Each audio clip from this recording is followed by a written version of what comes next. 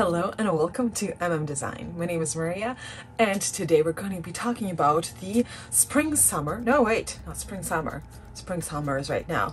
Fall winter pattern trends. Okay, okay, okay. When I talk about trends, I mean I looked at a bunch of different runway shows and these are the ones that stood out for me. I collected all of them and I'm showing them almost all to you, the most exciting ones, I guess. If you love to keep track of what's on the runways, what's trendy, or maybe just find out some more inspiration for figuring out what to wear, I encourage you to follow this channel and we'll have some fun with that. Let's get started. So the first trend isn't the most popular, but there is a few houses that did end up using this pattern and it's polka dots. By not the most popular, I mean I didn't have a huge amount of uh, resources to choose from. There has been a print or two in a few shows, but whenever I see a print in a brand that is usually not a print friendly brand,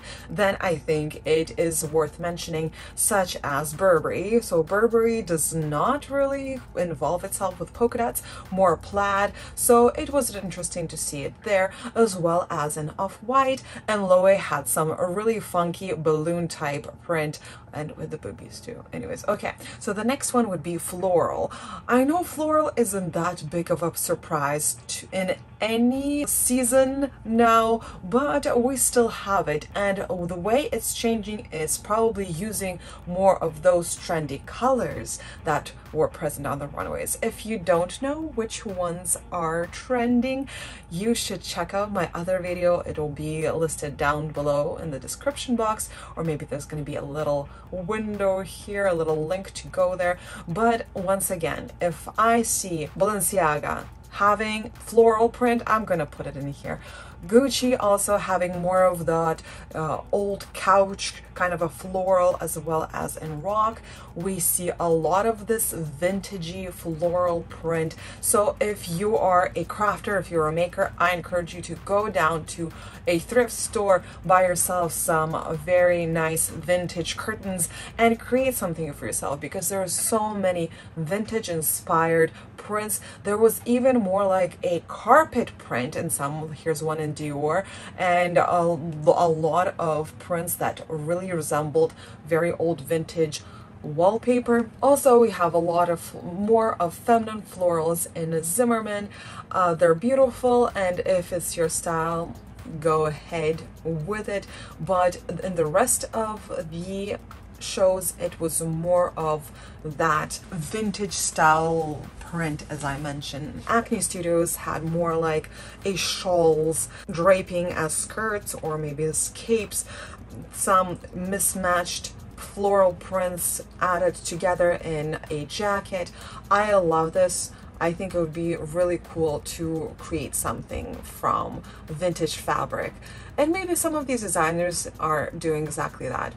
Some of the color combinations are very bright and out there, uh, and others are more seduced, so it's completely up to your style and up to your fashion sense. Here's Off-White rocking that carpet print, the Persian carpet that it is a very interesting. It's, and we also see this kind of a floral print in Moschino. A few dresses also resembling a carpet I'm not sure if you would be able to find a carpet that was light enough to create anything from it, but maybe like a towel or something, you can make yourself a jacket. We have somewhat more of this print in Isabel Marant having a blazer with some sparkly stuff and some dresses with more subdued colors. We see in Louis Vuitton a lot of prints and some of them being kind of a pop of print instead of pop of color having that statement print in there. We also see a lot of print mixing in that show where there it's maybe a floral sweater paired with a striped shirt or something along the lines. From all these shows you can definitely find the, the style that works for you the best. Maybe you're more of a romantic. Ulla Johnson has a lot of very romantic and pretty dresses in those fall winter hues and as well as Zimmermann as I mentioned. If you're more edgy, Louis Vuitton had some amazing ways of pairing things together, as well as just go look at Balenciaga. Everything that Balenciaga does is edgy, so here we go. All right, we're heading into the geometric realm and we see a lot of patterns like brought out of a few different geometric shapes and repeated. Very retro looking, especially in Prada shows. Max Mara, Versace's new print is very geometric. But once again, we are seeing a lot of a retro kind of color schemes when it comes to these prints and even some of the shapes are very, very retro. Ulla Johnson, if it is quilted, it's beautiful. It must have taken forever. I've also seen a few creators out there on social media repurposing those quilted items and making garments out of them. And I think it's a beautiful idea. Somebody has put so much time and effort into them. And if it's just a little hole somewhere, you can definitely patch it up. Or maybe if it's a stain,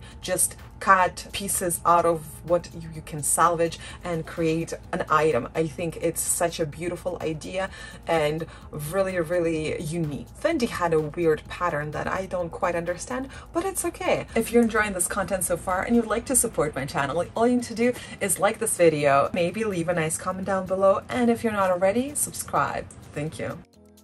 Okay, let's talk about stripes. So stripes are super duper kind of basic print. It's been out there for ages, but let's just talk about how it is styled and how it is presented nowadays because we are limited with prints. Let's just face it. There can't be a crazy new print out there, but we do see these stripes in different thickness, in different color combinations, even different arrangements, like either it's vertical or horizontal, or maybe both like we see in Hermes. But the most popular one, I would have to say, would be a pinstripe. Pinstripe is when you have very tiny thin, lines like in the Versace show right here we're seeing. Pinstripe is very associated with menswear and kind of business wear attire and we see this in so many shows. We see this in Gucci, Michael Kors, Fendi, Rokh, and so, so many more. Another way of the stripes wearing, as I mentioned before, Louis Vuitton, a lot of combination of the stripes from, and they were mostly on rugby shirts combining with floral prints or maybe some other prints. We also see a lot of stripes in Burberry, which leads us into plaid because basically plaid is stripes on stripes. You know what I mean? Like one is horizontal and one is vertical and thus we have that pattern. This is such a classical print or pattern and we see so much of it. Maybe it's in more of a trendy color like in Gucci, like a really bright yellow and blues together, or maybe it's out of sequence, uh, maybe it's more subdued and just a classical brown or more of a vintagey vibe colors. And I am here for it. As you can see, I am wearing something that is plaid and I have a lot of it in my closet. You know what? It is what it is. If it is such a classic one, why not buy it? It will last you a lifetime. Dior has some amazing outfits with plaid on plaid and sometimes having different plaids together, kind of a pattern clashing of some sort, even just black and white, and it looks amazing. We also see some of that in Zimmermann, having that blue on blue action, or maybe prints mixed in with florals. It's all nice and games. And another unlikely print for Off-White, as they have not had a lot of prints out there. Miu Miu having that sweater vest situation uh, like a golfer one, and some outerwear in plaid. We have Louis Vuitton once again having more of a plaid and more even of a tweed, which is sort of a plaid, uh, but not really. We also see it in Chanel. Chanel had a whole show dedicated to plaid. I think it's a good um, business strategy just because those items are the most expensive and considered the most classical thing from Chanel, so they do sell very well. Burberry, of course, they have their classical, their OG print in plaid and we have some more color combinations with that, more of a tartan print rather than anything else. And I love it. There's some combinations of plaid and solid colors. There's plaid clashing, there's some pattern clashing. Dolce Gabbana had more of a modern approach, having more like a check print on there, and a Versace having more of a shepherd's check slash houndstooth some uh, black and white and some very bright color combinations using those popular colors those trendy colors that we talked about in the previous video and uh, putting them together. If I were to go for a bright color combination, I would just think about my favorite color and what I would wear outside of this one show or season, something that I could rewear, and I would just go for it. Maybe I have a lot of that color in my closet so I can pair it with something else. Just trying to be a little bit more conscious about what I buy and how it will go with the rest of my closet. Of course, if I had a chance, I would definitely buy a nice bright one from Versace. Dolce Gabbana also having those houndstooth as well as Chanel, Ulla Johnson having print clashing. If you ever wanted to know how to start wearing print or maybe if you already do some other tricks of wearing print, I encourage you to check out um, my video. It's pretty old, so be patient with it and it will be listed down below in the description box. Let's talk about animal print. So the most iconic, well, I wouldn't say iconic, most used animal print out there was the zebra print. We see a lot of it on the runways. We see it in Louis Vuitton, Christian Siriano, as well as in Gucci. We also see some cow prints, like we see this in Gucci right now and in Ambush, as well as some snakeskin print and cheetah print. But the most one I think would be the zebra print. I found it to be the animal print that was featured the most.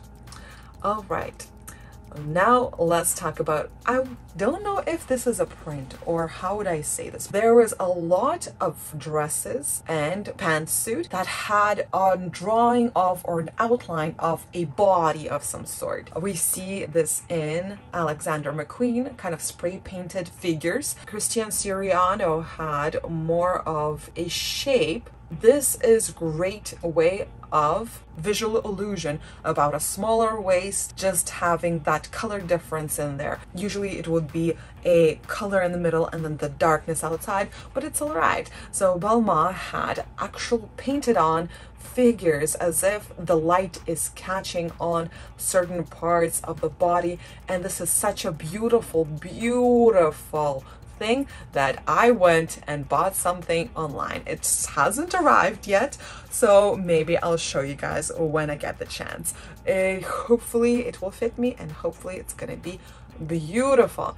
So we have more of those uh, human figures from Loewe having kind of a white version and a black version for it. Uh, some hands covering some intimate parts. This is a very cool dress with a glove with the red nail fringe which would be amazing and totally difficult to be with if you're wearing it on your dominant hand. This is kind of the end to the major prints that I've seen, but there's also some that I wanted to mention, and those were this really interesting print on uh, kind of print of clothing on clothing. We also see some tie-dyes in off-white, which is once again very interesting. There's lots of prints featured in off-white show that usually were not there before. We also see some kind of a tie-dye situation in Balmain, maybe more like playing around with bleach. In Dolce Gabbana, instead of bleach, we have more of a graffiti vibes, just a white suit graffitied all over. We have some more items graffitied, all having like a Dolce Gabbana print on there. We also see some interesting draped print from Moschino. So instead of having that material being super drapey, which I'm sure it somewhat is, there's actually the print of the drapery, which is very cool and I really like it. Some other interesting prints in Louis Vuitton. We also have the logo mania, of course, Chanel, Gucci, Dolce Gabbana. Everybody wants to have their merch, everything visualized and seen. That can be sometimes cringy, but let's face it, Gucci is all about that cringe factor. So we don't mind it. Versace also had a really crystallized jacket like that, blazer maybe. I would definitely rock this for eternity. Balenciaga having that orange, yellow and orange tape outfits with its name plastered all over. And yeah, I don't mind it. I don't mind it at all. Prints are fun to use and sometimes they can be very difficult to style and uh, that is maybe number one reason why people are stay away from them. Prints can be very helpful in disguising some body parts, maybe accentuating other body parts. If you have wider hips and you want to pull the tension away from them, then have a print on top, having something bright or eye-catching at the top would help to balance out your body or the other way around. Also, print can hide chunkiness or different kind of underwear lines. It is also great for messy people. If you're a messy eater or something, or you always get a stain on your clothing, prints are great for disguising that, especially floral prints. Yeah, they can be useful and they are very, very fun to style and figure out how to wear. And that is why I like them. I am a messy person. Let's just face that. It's, it's true. All right, you guys, thank you very much for watching this to the end. I'm looking forward to reading down below in the comments what is the print you're looking forward to the most, or maybe what you had for breakfast. You know, every little comment helps. I hope you have a great day. And yeah, stay classy. Bye.